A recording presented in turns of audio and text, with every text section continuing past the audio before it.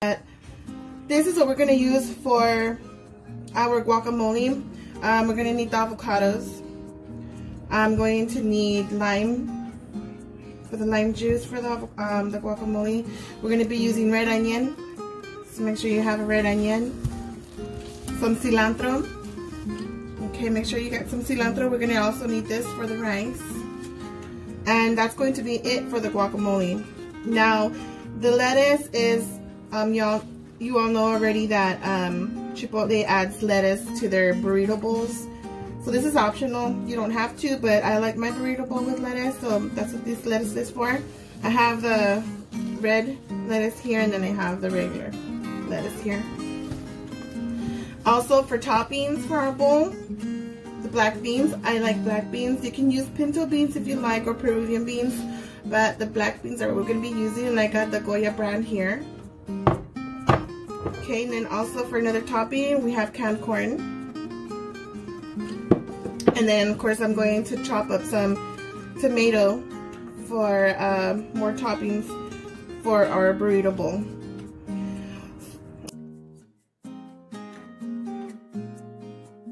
Um, what you want to do now is go ahead and just peel them. And I will be using this also as a topping for my bowl. So just go ahead and peel your chiles after you've let them set after um, toasting them. Like they're, they'll get pretty easy to peel. See, like the skin will come totally right off. Anaheim chiles, already peeled and diced. And I have um, sliced up my chiles güeros and peeled them also. And this will be another extra topping for our burrito bowls.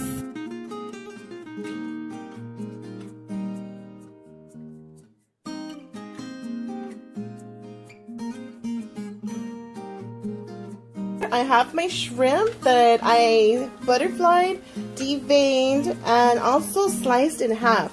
So these shrimp here are thinner than, than usual or regular. I've also seasoned my shrimp with Old Bay, cayenne pepper, some garlic salt, and regular pepper. I'm going to be adding lime.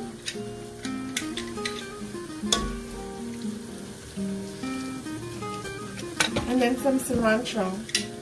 That actually was a whole lime I added. That was just the other half. These are both the ones I added. And I'm going to add a pinch of cilantro. It depends on how much you...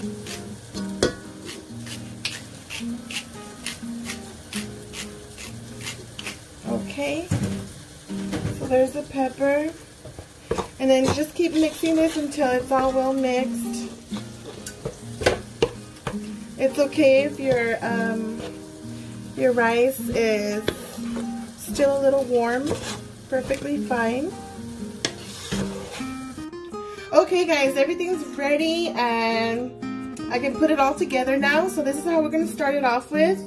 Here I have my rice, my cilantro and lime rice. I'm going to put a small layer, a bottom layer of rice. With all the ingredients that you have going on here, is this pile becomes really high. You just um, keep piling it on. And then I will now be adding my black beans. Here are my black beans. They're nice and warm. Add some black beans like this. Okay. From this point on, you can start adding um, the meat.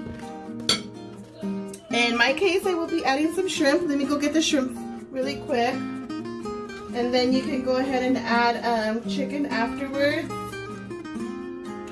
So here is my shrimp. I added some shrimp, nice and warm. And now I will be adding some chicken on top of that shrimp, like this. Hold on.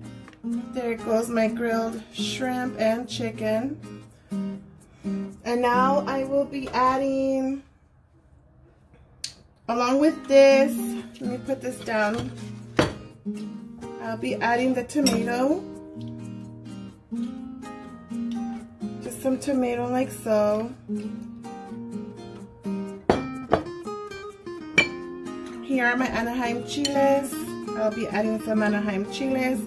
I went ahead and I peeled these and I um, diced them up along with the seeds. They're not really spicy. And then the chile güeros, I'm gonna add these. I only sliced these up, so I'm gonna add them this way by slice. Some corn. Here's the elote. We're gonna sprinkle this over. This is fine. Add a little bit of cilantro, not too much, like so. And then um, a little bit of lettuce on top of this.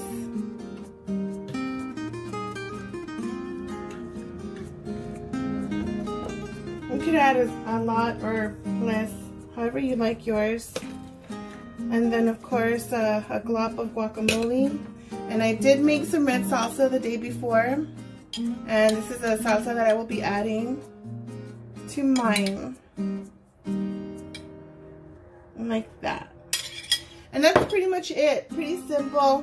Um, just your veggies and your meat or your seafood. This is um, our burrito bowl. Please go ahead and like this video and leave me a comment. Let me know what your burrito bowl came out like. Um, also, subscribe if you haven't.